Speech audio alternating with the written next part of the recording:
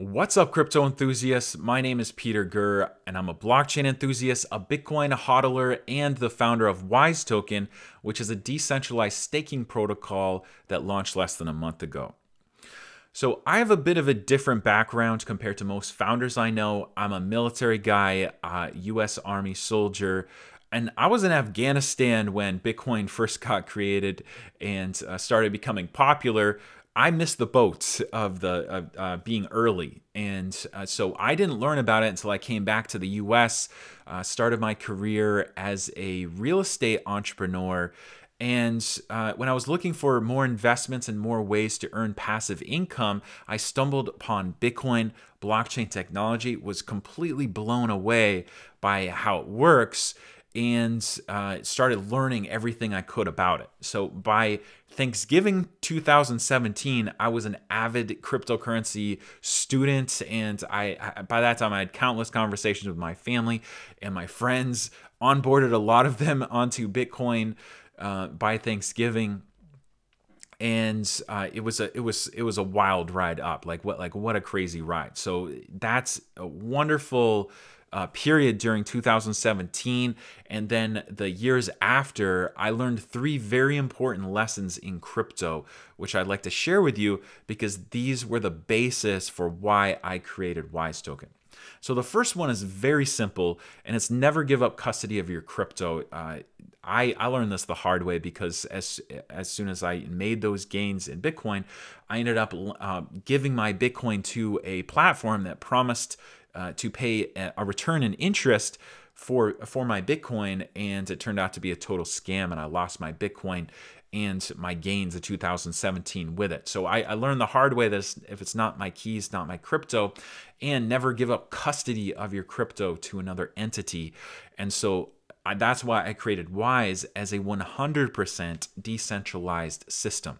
So it's it's on the Ethereum network. It is a smart contract uh, no admin keys, completely decentralized. You never give up custody of your crypto, even when you're staking. Uh, it's always in your wallets. You can stake with a contract and then you mint it back into your wallet when you're done. So it never, at, at any point, are you giving up custody of your crypto to any centralized controlling party or third party entity. The next point that I would like to share is that I notice most cryptos are not really fair. And I see a, a, a correlation between the fairness of the crypto's design, especially their launch design, and the overall sustainability of that crypto over a long period of time. Uh, most cryptos nowadays are just cash grabs, and, and you can't expect them to be there in a year because they're not fair, which ends up meaning they're not sustainable. So I I want to bring up Bitcoin and Ethereum as an example here. Bitcoin is a great example of economic decentralization.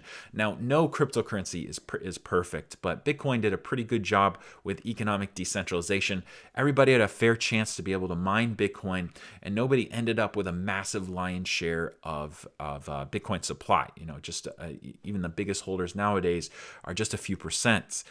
Um, very unlike some cryptos on on the market now that have hold, holders that hold you know 20 30 40 sometimes even 50% even if that is the team that's still a risk for new users uh, to you know if they buy the crypto there's these massive mega whales that can destroy the price on them. That's an aspect of centralization that's uh, that, that you don't want in crypto so Bitcoin is economically decentralized.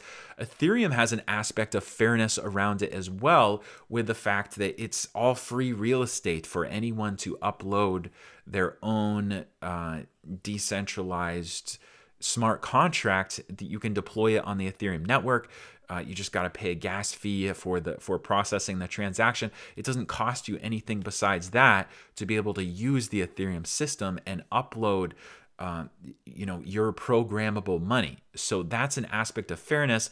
And so i think it's no by no coincidence that the top two cryptos by far are some of the most fairest cryptos in the space economically decentralized and fair. So wise is fair as well.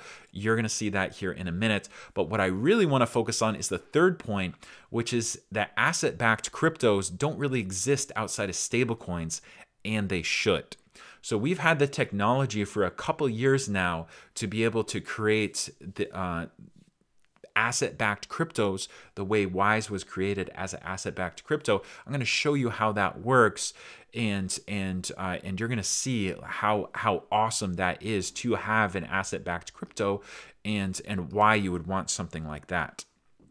So first of all, let's talk about the fairness of the of the Wise launch. Uh, we had a 50 day uh, token sale before our launch where the contract auctioned off 50% of the supply at a rate of 5 million Wise per day. Uh, anybody was free to send Ethereum to any of these days. It, it was a, it was an auction. You know, more the more Ethereum that was sent, the more expensive that is. I didn't get any free tokens. My team didn't get any free tokens. Um, everyone had to participate on an equal playing field and as you can see, by the end of the 50 days, uh, we had almost 9,000 users, uh, unique wallets, and 57,900 total Ether, which was about $43 million of Ethereum at the time. It's about uh, doubled, and Ethereum has about doubled in value since then. So, because of this auction nature and the fact that it was fair, it, nobody got tokens for super duper cheap like you see in some pre-sales. We we have economic decentralization, so we don't have any mega whales. Uh, we have Uniswap, number one holder. That's all locked to liquidity. You're going to see that here in a minute. And then the top holder is only 1% of the supply and uh, even if you consider the amount, the, the, the biggest staker in the system is only 3% of the supply. So users uh, joining Wise today don't have to worry about whales cashing out on them and uh, destroying the price. We, we just don't have whales like that. So now we get to talk about the most important part, which is what happened with the money. So you see, uh, you know, that's that money that got raised. 2,000 of it went for the development and for the marketing of Wise, but 55,900, that's 96.5%, went along with the other half of the Wise supply to form the initial liquidity here on Uniswap. And so you can see right now we're the number four pair, $211 million worth of liquidity. Pretty awesome.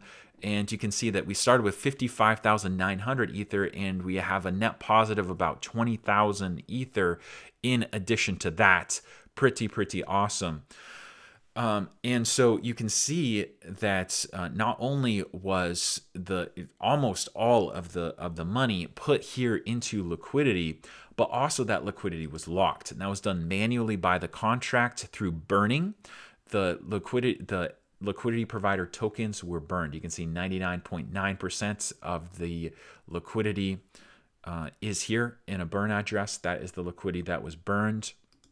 So that means that this this uh, liquidity is never removable. So we've got a two hundred million dollar un- unremovable pool of liquidity. We're using it very differently than most people use Uniswap. Just as an investor, we're using it as a bank because this because this is unremovable. That means that everybody who owns Wise they're the only people that can access this ether right here and so started and also um, it's a bank that grows in value because everybody that participated in the token sale now is in big profits because we've had 20,000 Ether worth of extra net positive buying after the token sale, which has given an ROI to everyone. Um, so this is this is very significant, and even if hundred percent of the of the Wise supply were sold, we're talking whether it's staked or whether it's liquid and wallets. If all of that were were available right now and sold back, and there was zero holders for Wise, there would still be twenty eight thousand Ether in this pool. It would still be a seventy million dollar pool. Um, and still top 10 on Uniswap. So that is how ridiculously massive this bank is, it's so big that even if everybody cashed out and there were zero holders, there would still be $70 million of liquidity, top 10 liquidity pair on Uniswap. That is the power of asset backed crypto. So that comes with a price floor because even if you were the last person cashing out, you're still getting some of your Ether back because there's enough Ether to be able to pay everyone, uh, even the very last person. So there is a price floor. Now, Wise is a staking token, and you can stake it over time in order to earn interest. And when you stake it, you lock it up. And, there, and there's penalties for ending a stake early before it's matured. So that means that um, whoever is staked, that actually raises the price floor. And you can see we have over 80% of our circulating supply staked, which has risen our price floor up to 28.7 cents worth of Ethereum. So the very bottom unbreakable price floor, if if if there was zero holders left, would be about six and a half cents of Ethereum, and because 80% is staked, that has risen to 28.7 cents in Ethereum, uh, being the price floor, which is only 43% down from the current price. So not only are the people in the pre-sale protected uh, because uh, people buying now are protected too. This is one of the this is the only crypto I know of where uh, people spending their ether to uh, purchase Wise. That ether goes into the liquidity pool, and their worst case scenario right now is that they lose forty three percent of that ether. That being the very worst case scenario where not only everybody cashes out, but they're the last person to cash out too.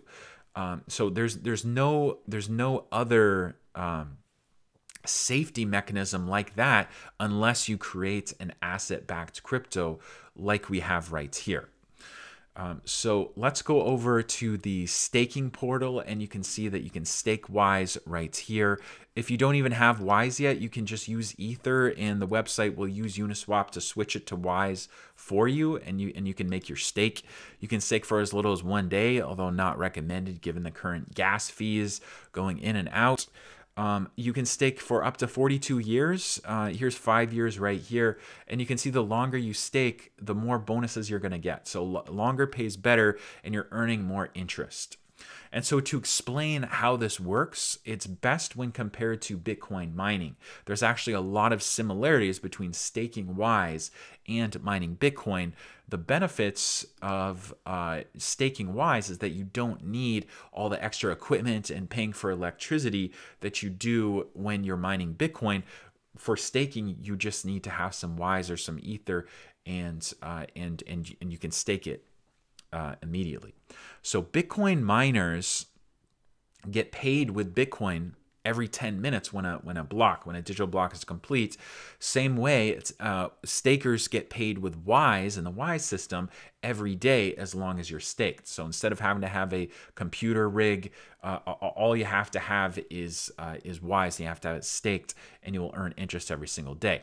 So the more miners mining bitcoin the less Bitcoin that they're going to make because there's less Bitcoin to go around. Same thing for stakers. The more stakers that are staked, the less wise to go around. However, it works the other way too. When uh, my Bitcoin miners give up, they get paid more Bitcoin. That well, the remaining ones get paid more Bitcoin. Same thing with Wise. When people end their stake or leave the system, then uh, you're going to be earning more Wise on a daily basis. And the last point here is that miners provide constant selling pressure because they have to pay their rent, salaries, hardware, and most importantly, electricity bills, where Wise stakers provide price stability and a price floor because they get paid not to sell. So, um, Wise interest gets paid to stakers. The average stake is over two years long. So there isn't that immediate sell pressure for the new Wise coming into the system like there is for the new Bitcoin coming into the system. And, and so that's one of the perks of what's going on right here. So that's a really quick overview. If you would like to learn more, I actually um, live stream three times a week on YouTube. My channel is Wise Staking. I'm going to put my socials up here in a minute. Uh, but we also have a very helpful and a, and a vibrant community on Discord and on Telegram. And also, you can learn a lot of info from our website, which is wisetoken.net as well. So, I'm going to go ahead and put up my socials right here. Thank you so much uh, for listening to that presentation. Uh, here is our socials, and I will see you next time.